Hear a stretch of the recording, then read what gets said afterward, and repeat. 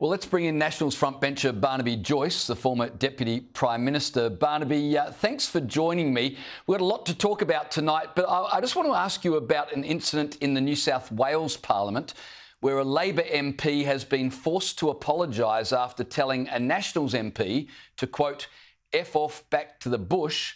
He did this in front of a group of shocked primary school children that he'd been escorting around Parliament House. Now, I know that you're no shrinking violet, but um, this kind of behaviour in Parliament, not exactly appropriate. And can you imagine if a uh, Liberal spoke like that in front of children?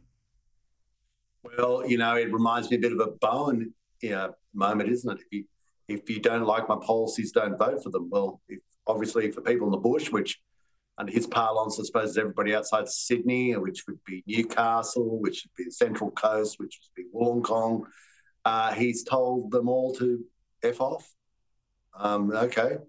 Maybe they'll F off at the ballot box for you. Maybe, maybe that, maybe you'll understand that people in regional areas in the bush, you urban sophisticate, you pseudo intellectual, you enlightened, enlightened person, maybe you'll be a little bit more hesitant, uh, a little bit more circumspect about your narrative, about your language, rather than using a profanity in front of children um, to address a colleague at your workplace. Uh, it, this ticks, ticks every bad box.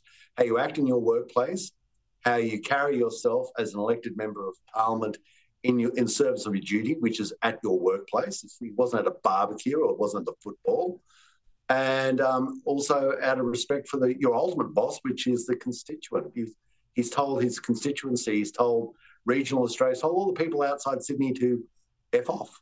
And I think when the next election comes, you should make sure that you don't come back. Just don't vote for him.